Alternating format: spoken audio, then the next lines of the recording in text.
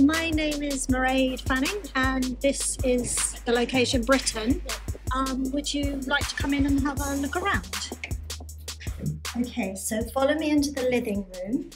This is our grade two listed building, which means that you can't touch it really. So in this room, we've pretty much done nothing. We've just painted, and this is Dinnerson floor, which was actually already here. And we just cleaned it because it's an incredible floor. And um, all this panelling is just all the original. And this is actually one of the only houses on the street that's got the original panelling. So it's sort of of the historic interest, this house. And I mean, you wouldn't want to do anything with it anyway because it's beautiful.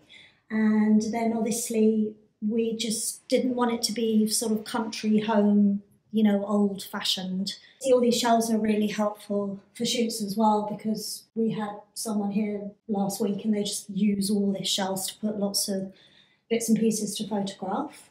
And something important in this house as well is we didn't just want to rip everything out. We just wanted to try and reuse and, you know, um, make it as sustainable as possible, really. Not jumping on the bandwagon or anything, but that we've always done that because um, we think it's a bit, it's kind of vandalism, just throwing everything out every time you move.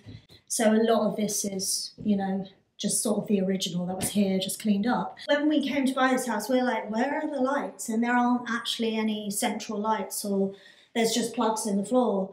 That's perfect for here because it's like a central light, but you can just plug it in down there. So that was really useful, and that's why we just got lots of little lamps, like that little one there is just from a vintage shop in Paris because we've got a flat in Paris actually. So a lot of stuff we moved about between the two places, just getting vans.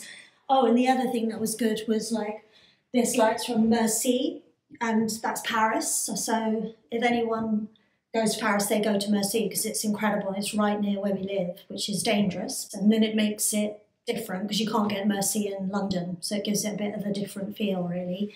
So the reason we moved here was we thought actually this is like this is a really mixed residential business area, so it's amazing for shoots because people just don't mind because they're not neighborhoody. Do you know what I mean? They're not out with their kids and on the street. So we had a shoot here last night actually, and they said, "Oh, it was amazing because it's just like nobody bothers you," which I think is a big deal because um, you know that can make your life a bit of the misery if neighbours are angry with you, with the for the owner and for the people doing the shoot.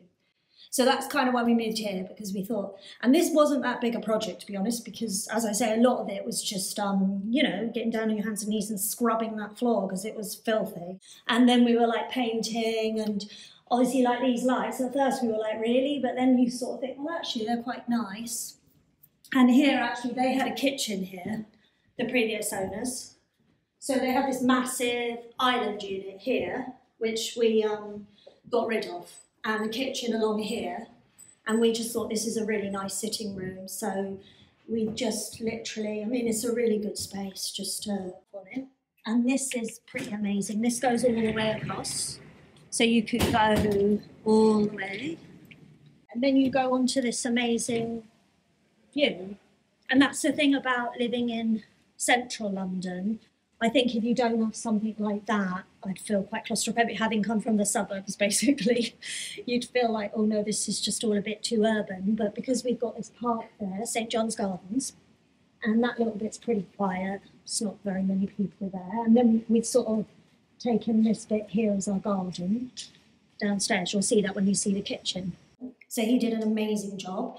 And this had a kitchen, which I was trying to reuse, but it was just it was just too woody. You know, it was like an old-fashioned wood one, but it was an IKEA. So I thought, well, okay, I'll try and revamp it. But then in the end, it would have just all looked too rustic. So that's why we thought that would look good with the this, the metal with this rusticy tiling.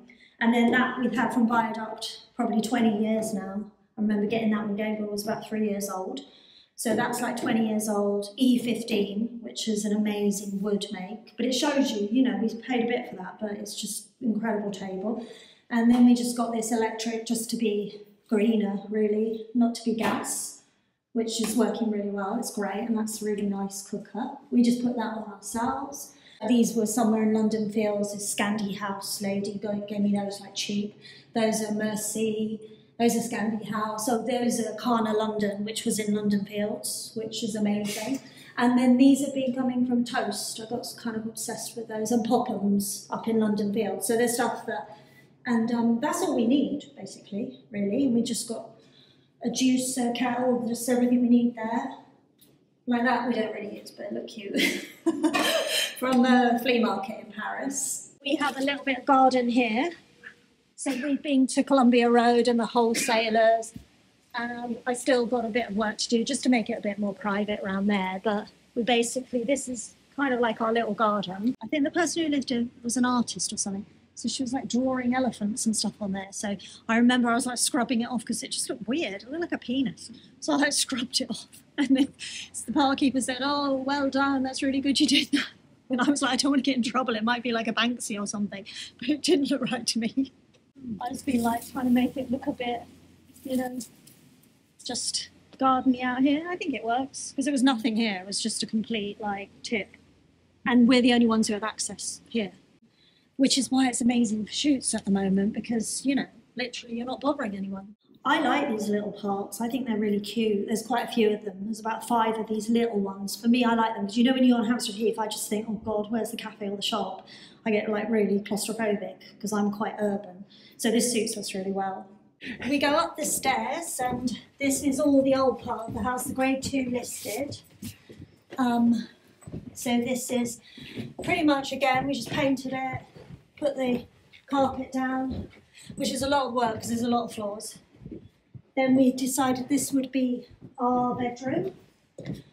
We had to sand all the floors because they were all sort of black stain on them. The panelling is so beautiful and it's just adding sort of modern furniture really. Like that bed is B and B Italia as well, and then that is that. Oh, I can't remember those. I know it's called oh Asplund Snow Asplund. I got really obsessed with those because they're such a nice design. This is our roof terrace. So basically, we will, um, when we do the work downstairs, we'll just put a staircase up here, probably come out here somewhere from the kitchen.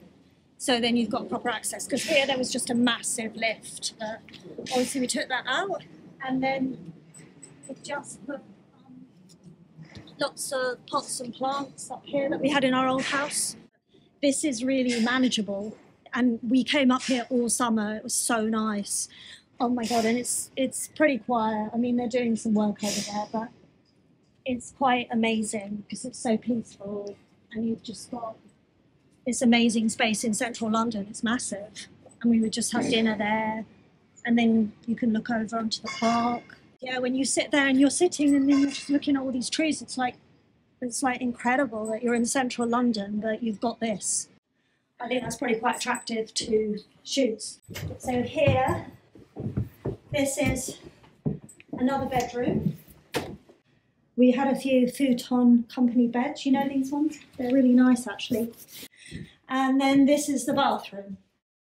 This bath was here with some really horrible green tiles around it.